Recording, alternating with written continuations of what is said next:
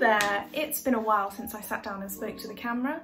Um, sorry it's been so long. I did apologise in the last video because um, I only just edited that even though I filmed it six months ago and I hadn't been around for a few months before that.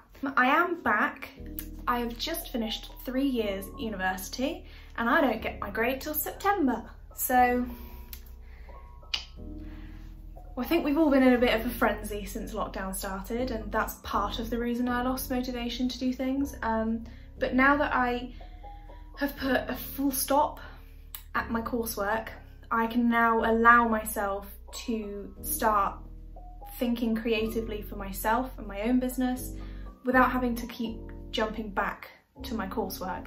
And that's kind of why I've been holding myself off because I knew that I would get really kind of disheartened if I had to keep stopping myself doing the things that I really enjoy for uni work.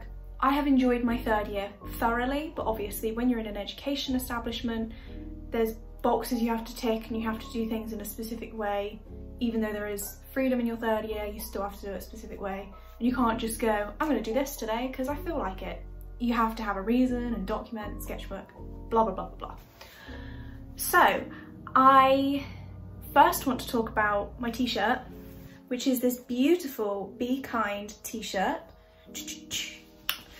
I'm not sponsored. This is a top from the lovely lady I've talked about before, um, Becky, aka Rebecca Bruton Textiles.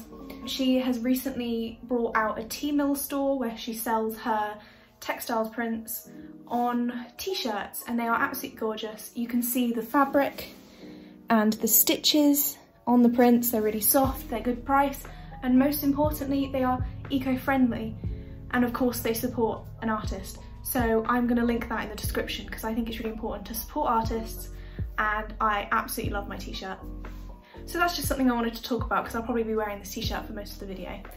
But I have an exciting new venture that I am starting and I just wanted to share it with you all because I like sharing my journeys and now that I get to do them properly, I'm gonna throw it out there. So,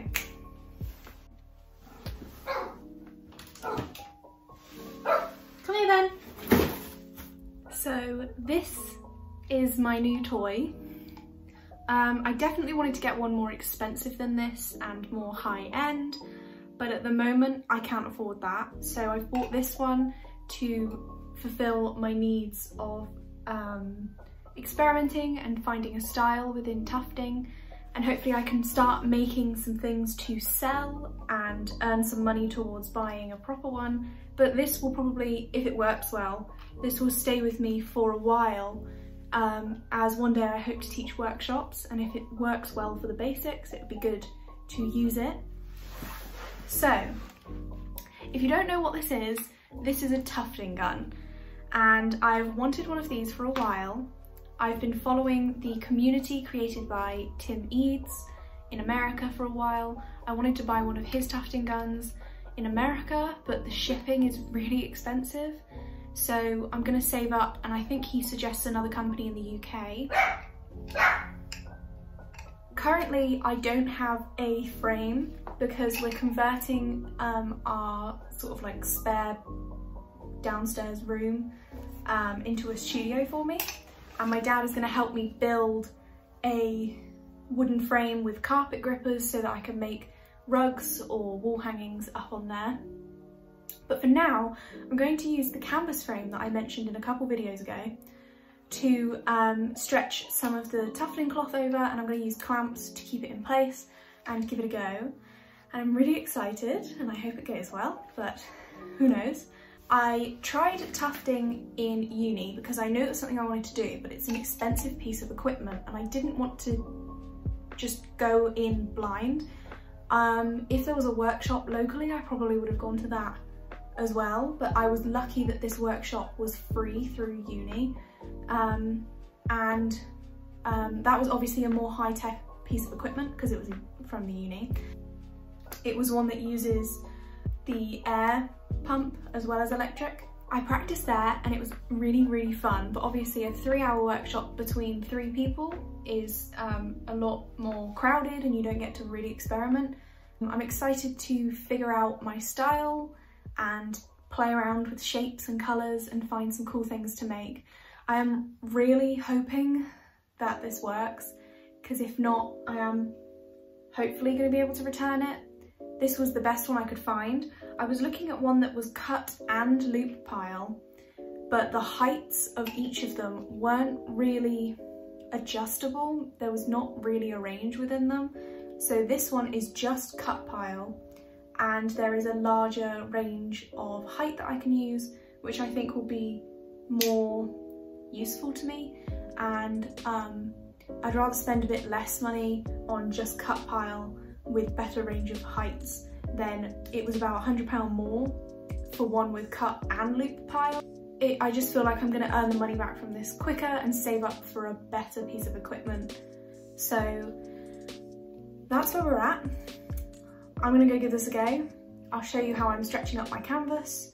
I don't think I'm gonna draw out a design because I'm just gonna try and fill out a square. Let's go. So I'm gonna do some close-ups of it. Now, this is my concern when it came. This looks really flimsy and I'm quite concerned about that. So I'm hoping that it goes okay. But of course you get what you pay for.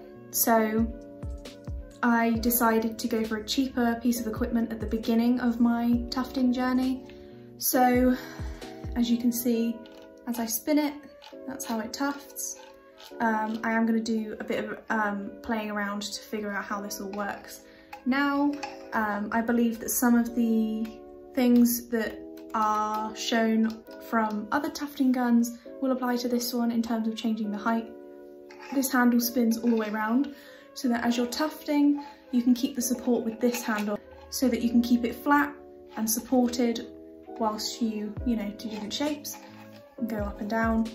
Um, what A couple things that I have learned from my tufting induction in uni.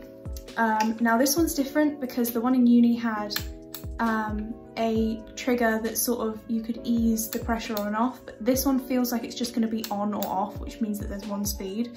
That is an immediate concern for me because I don't want it to go too fast. So we're just going to have to see how that goes. But um, you have to put a fair amount of pressure onto the fabric with the tufting gun. And that was the difficult thing in uni was you had to keep light pressure on the button, but a lot of force on the fabric. The other thing is that you have to keep it at around about a 90 degree angle. If you're going like this, you're not putting the right pressure onto the screen and it's not going to tuft nicely. So it can be quite tough on your shoulders.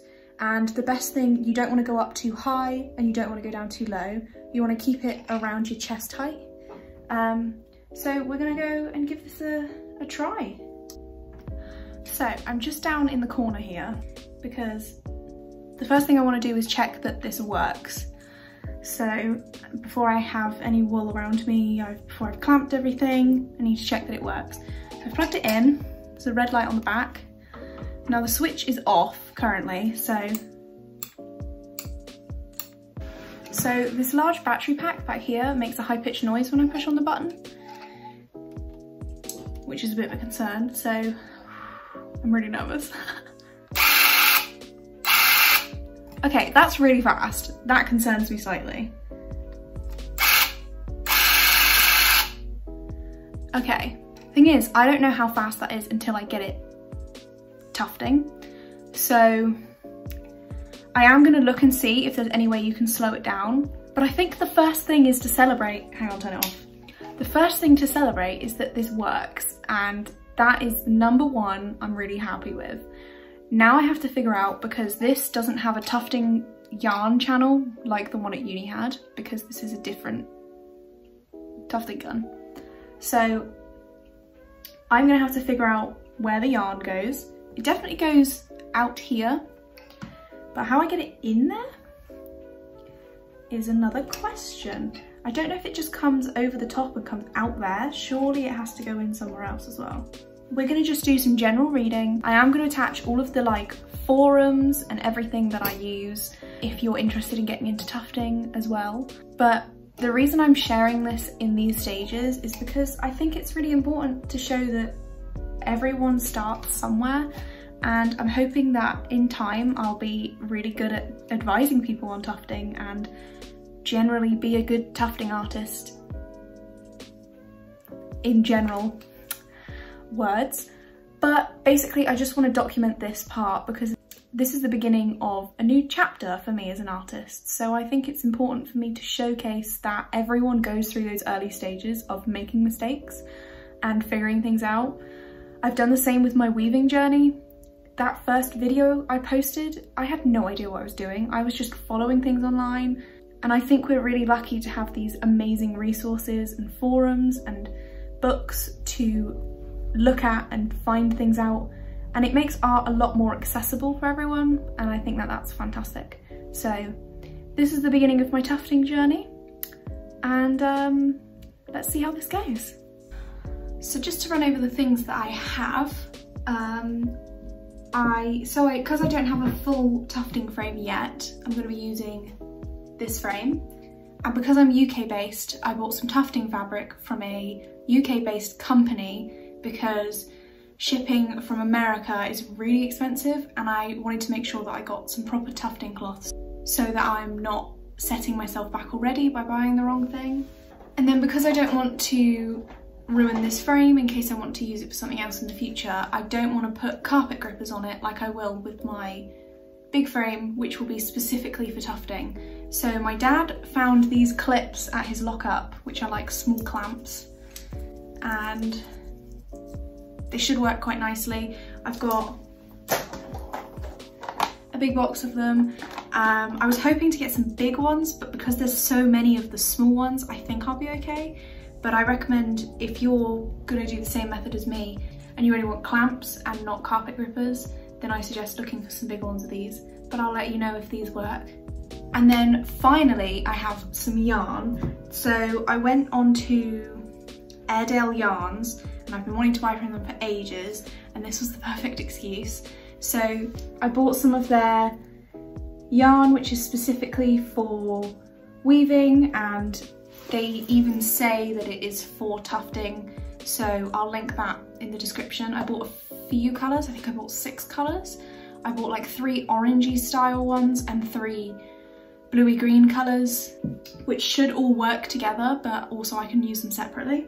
And then I also have some leftover four ply warp yarn from my uni project. I use this as the warp for my trousers and I also use it in matching as well. And I have got two cones of this left. So I've got this one and I've got the bigger one as well. So what I can do is put these two together into the tufting gun and tuft two at a time and that should work with the thicknesses because one of the really fun things with tufting is that you don't just have to use one yarn at a time, you can double up, but of course, if you're gonna do that, you need to make sure that you don't exceed the width that the tufting gun can handle. So now I'm gonna see if this works and of course first things first I'm going to clamp this onto the frame and what I'm going to do is to start off with I'm just going to try tufting a couple lines close to the edge not too close though because I don't want to hit the frame with no yarn in because I don't want to waste any yarn and I just want to check the speed that it's going to work at. Now I don't know how well this is going to work whilst I'm sat on the floor but that is kind of the best option because there's no way that I could put this somewhere standing up higher where it's secure. I might be able to get it on the chair, we're just gonna have to see.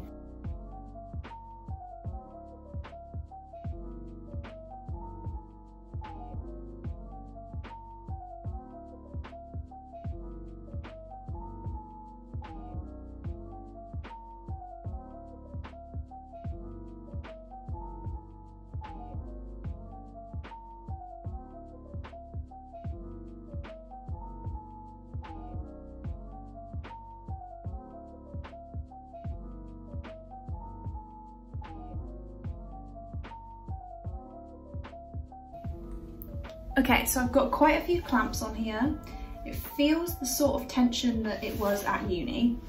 Um, now, one thing I will say is that I'm a bit concerned about doing this and I'm not doing this too much. I'm gonna get my frame built as soon as possible because I think the best thing is the carpet grippers, which give tension all the way around, whereas these obviously only grab onto certain points. But it seems okay.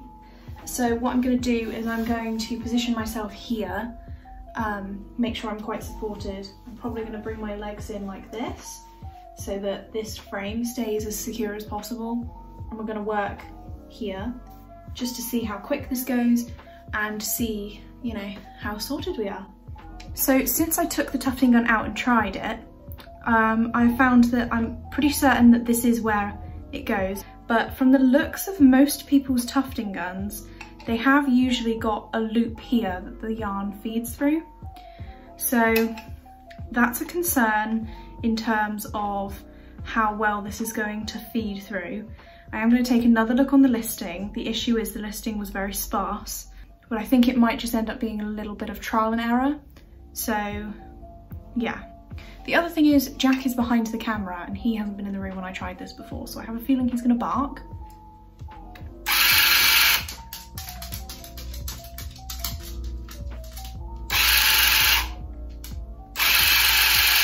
You okay with it? Okay, thought so. No, it's nice. It's nice gun. Okay.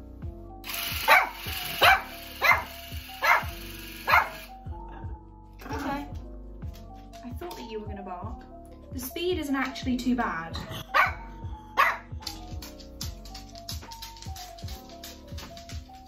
And just like that, Jack doesn't care anymore. I think that the next step is just to try some yarn.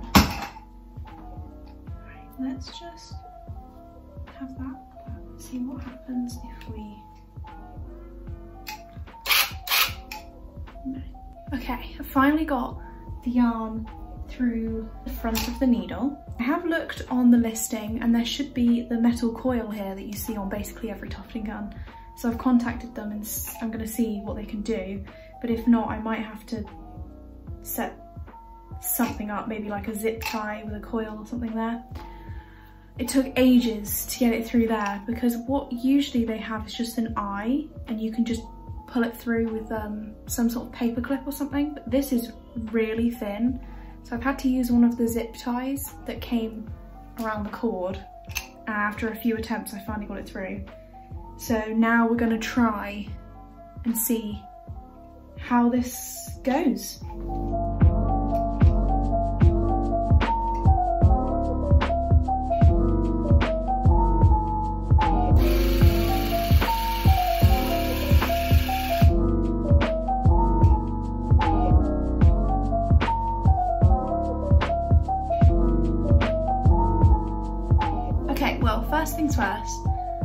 Loop pile, even though they told me it's cut pile.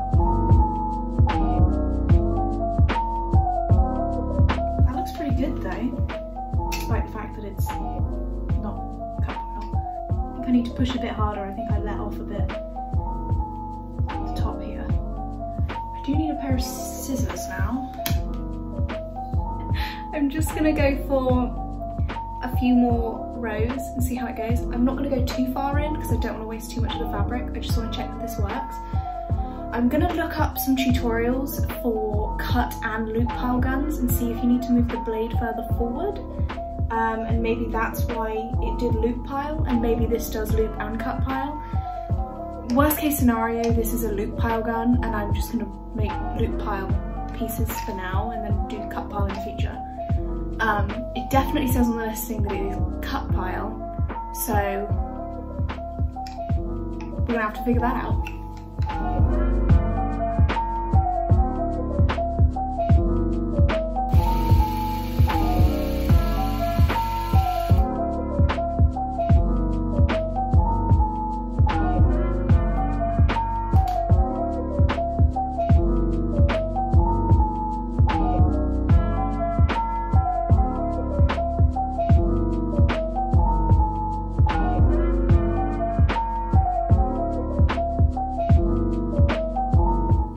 So first things first, this was fine.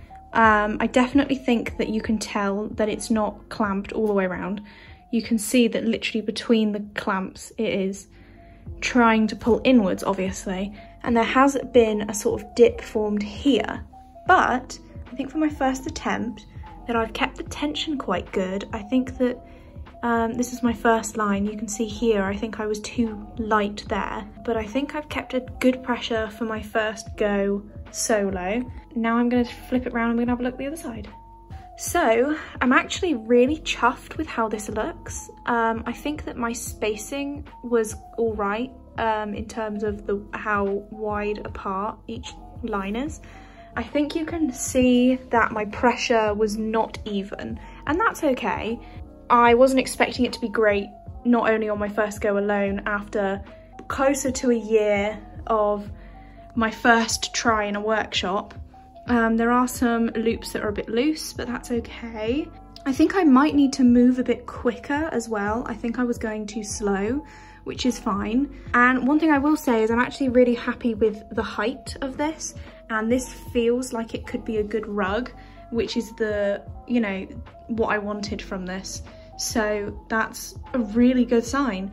And I think that what's holding me back here, and this is why I'm not gonna be doing any more tufting until I have a frame set up, I definitely think I need the carpet grippers for an even edge. So we'll see what happens. We're gonna have to look at how long it can be until I can get a tufting frame and potentially get some carpet grippers for this, for the interim, and that can also be something that I make smaller pieces on. We're just gonna have to see because obviously this setup in terms of the clamps and also the fact that this frame has to be lent on the floor against the chair. Those two are not ideal, but I think that, you know, I'm really happy with my first attempt. I think this is great. I'm gonna leave this as it is and then put this up on the tufting frame when I get it sorted and I will probably latex that and keep that as my first sample or maybe even work on from it and continue and not waste that and make it part of, you know, my first piece, which hopefully will show at least some progression as I learn figure out everything and that obviously would be something I keep myself. I hope that you have found this at least somewhat interesting. This is my new venture. Of course weaving will not be going anywhere. I will be continuing with some scarves and things and I'll probably upload some sort of chill content where I don't talk at all and it's just some relaxing weaving videos. I don't know when we're going to be starting to put some of my stuff in the room. Hopefully it's going to be soon and then you'll see the tufting frame being made. Hopefully my floor loom will go up. We're just going to kind of see how that goes and figure it out as we go. I am going to leave this video there because I don't know when the next step will be and I don't want to end up like my last video where it took ages for me to get more content. So I'm gonna finish this video here but if you want to see more frequent updates from me, I upload to my Instagram grid quite frequently and I'm very active on my stories, showing you what I'm up to each day, or most days. My grid posts also go straight to my Facebook page, so if you don't have Instagram, you can follow me on Facebook and see my Instagram posts there. I'm hoping to get a tufting frame sorted soon, so you'll hopefully see more tufting content soon. And just like I said with my weaving content, there will be some tufting videos where it's just me and my tufting gun and some chill music.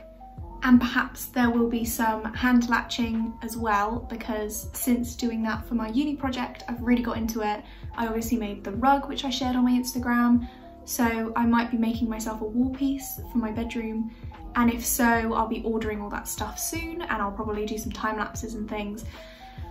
Basically, now because I finished uni, I'm gonna be able to do some creative endeavors that I've wanted to do for a while, but just could not give myself the time without feeling guilty about not doing coursework. So subscribe down below and you will be notified of when some new content that I create comes out. You can hit the bell as well, which will send you an email and proper notifications when I post. I really am hoping to do this more frequently because I really like sharing my creative stuff and it's really exciting to share these opportunities with you. So let's hope that we can get some more tufting stuff sorted soon and I will see you in the next video. Bye!